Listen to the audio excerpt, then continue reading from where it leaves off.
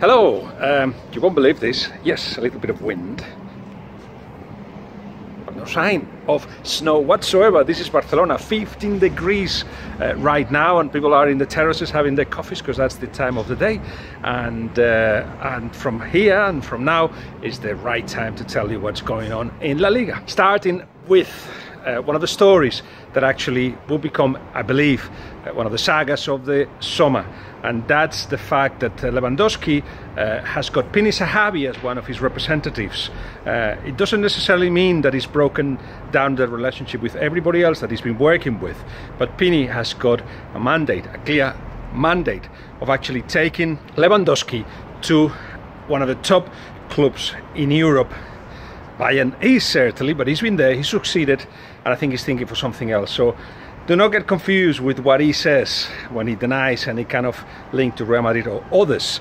Now, the situation is, of course, Pini will probably try to get him to the Real Madrid or PSG, and there are two English clubs that seem to be interested, Manchester United and Chelsea. But that of course has got a consequence, clear consequence, and that will be what happens with Morata. Well, what, how about if he goes to Bayern? Uh, but then, of course, if um, if uh, Lewandowski say uh, goes to PSG, because I feel Real Madrid have got the impression that it's too much, 150 euros for uh, uh, somebody who's going to be 30 very soon. PSG, right now, better candidates for it, but they have to get rid of Cavani. So how about if Cavani goes to Chelsea? Now, what I'm telling you is not just science fiction; it's actually the imagination of representatives uh, or very well placed representatives who will try to make this happen, but it won't be easy at all. I'm just saying that uh, that's what you're seeing in the newspapers in recent days uh, links of Lewandowski to Chelsea and Manchester United and to PSG, and of course, there will be the talk about Real Madrid, which, by the way, is his real dream. He dreams of uh, going to Real Madrid, has done it for a long while, and he almost went to Real Madrid in 2013 when. Um, Florentino Perez, uh, he was at, at uh, Borussia Dortmund, and Florentino Perez in December uh, tried to push the deal, but of course he had agreed everything with Bayern Munich. So we'll have to see what happens with that. But right now, what we're seeing is uh, basically uh, what could be the beginning of a saga. There is more, of course, and uh, staying with transfers is the Griezmann situation. Uh, it's been published that Griezmann uh, has got a deal with Barcelona. I don't believe that's the case. Uh, in fact, what's happening with Atletico Madrid is that they're not very hopeful that they can keep him, but they, the chance that they've got is uh, actually release some of the players they have. Uh, they're not going to bring money through the Champions League this season as much as last season, of course. So uh, basically by getting rid of some of the players like Carrasco and Gaitan uh, gone to China, of course. Uh, Augusto Fernandez has gone as well, and uh, has gone to Valencia.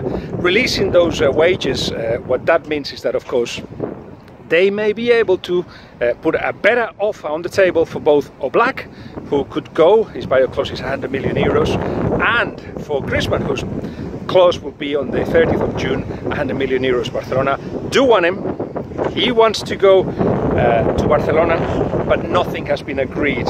So I think he'll play uh, to see what happens before he actually takes a decision. And uh, what Atletico Madrid have said to him is that just focus in football. He clearly is doing so. And uh, uh, meanwhile, at the end of the season, we'll talk some more. I'm pretty sure that uh, Griezmann will want everything sorted before the World Cup, so we'll have to keep an eye on it. Now, the big story of the weekend is that after the draw of uh, Barcelona, with the help of Mateu Lahoz. But yes, uh, with a very poor Barcelona against Las Palmas, what that means is that, of course, Atletico Madrid and Barcelona separated only by five points. And on Sunday, it will be, yes, at the Camp Nou, Barcelona Atletico Madrid. So let's analyze that a little bit. For instance, why is this Atletico Madrid so good these days? Well, uh, a bunch of reasons. One is because finally uh, Simeone has forgotten about the possibility of playing well as a priority uh, and has gone to his basics. He's got a midfield of four centre midfielders where um, Koke is little by little finding his best form. Saul doing, having a, a, a very good season. Thomas as um, holding midfielder is actually uh, one of the big surprises, if you like, but one that uh, comes from a lot of work and a lot of corrections in the um, in, in this time in training And, uh, and Thomas is either a holding midfielder on the right hand side when it's necessary actually has got or has made Atletico Madrid better. And of course the link between Griezmann and Costa is now working, quite clearly working. Before the arrival of Costa, Griezmann had scored seven goals, five assists, and he was not getting to the level of the two previous seasons where, where he got involved in 38 goals, either assists or goals that is, but he was involved in them. Now, uh, since the arrival of Costa, he's gone to 13 goals and 5 assists, which takes now uh, the figure of goals in which he's been involved to 30. 38 the two previous season 30 already and yes uh, he's reaching his best level. Seven goals scored in the last two games no less. Costa can do the job that you all know he can do. Holds the center backs can hold the ball and Griezmann can move around with much more freedom protected by the four midfielders behind him so it looks now a strong Atletico Madrid the strongest Atletico Madrid of the season and another key thing here is accuracy uh, they had for a while been playing one nils. We mentioned this here, uh, and winning, yes, but one nils, and with poor football. And it was down partly to the lack of accuracy of their passes. Sometimes reached 55%. Well, in the last two games, the average is 90% accuracy. They're sharp.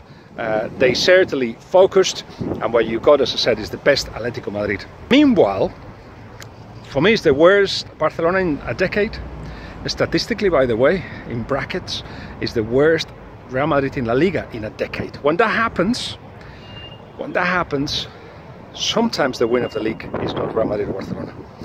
But we will see, of course, because it's all in the hands of Barcelona. They will play at the Camp Nou. But you saw against Las Palmas, and you've seen in other games, they drew three out of the last five games that uh, there are things missing. There's no depth, there's no pace up front.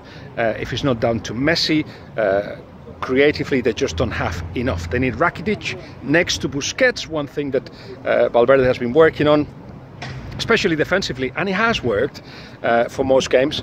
But uh, creatively, they lack something. Dembele, not impressing yet. Coutinho is not a midfielder, and even though he's been playing a little bit there sometimes, quickly he moves as a forward because he's that's where he's at his best. But at the moment, uh, he's still not sure of what he has to do. That will take him still a while. Same with Dembele. So uh, against Atletico Madrid, it will be another 4-4-2 possibly, and I don't think it'll be Paulinho, but perhaps Coutinho uh, or Dembele, one of the two, who will uh, join forces with Rakitic, with Iniesta and Busquets. Now, what Atletico Madrid quite clearly wants to do is to actually um, defend, not too deep if they can avoid it, but they, they will be getting deeper and deeper and counter-attack. Uh, a little bit like Chelsea did, play the percentages. They will have three, four chances. If they take advantage of it, they could get something out of the Camp Nou. Barcelona, funnily enough, are of course comfortable with that style because they want to attack together and defend together and defend high when that happens. Uh, and that's how you get the best of Busquets, that's how you get the best of Iniesta. But they concede chances. This is, um, I think, in two home games, Oblak had conceded zero chances, zero shots on goal. And uh, generally, the rest of the season, uh, even though Atletico Madrid is the best uh, defense in La Liga, Barcelona uh, have got a good defense, but uh, they've conceded 22% more shots on goal. So they concede chances. They, they have possession but don't control games. Not the same thing. And they give opportunity to teams. It's the kind of game that could go either way. Uh, it could be a victory to Barcelona. You think like, yeah, they had most of the possession and they perhaps had more chances. Or it could be Atletico Madrid and you'll be saying, yeah, actually they deserve it because they cleverly did what they you have to do against Barcelona, defend deep and counter-attack. One of those games. So closer to it, once uh, uh, I am at the Camp Nou, I'll do another little video as a preview and one after to tell you how it all went. I'm really looking forward to it. So that's that's about it for now and uh, I'll be talking to you soon. Keep uh, up with um, what's coming on what's coming up in the uh, uh, YouTube channel by subscribing, of course. Uh, yes, we're preparing new things for you, and I hope you like them. Cheers, bye.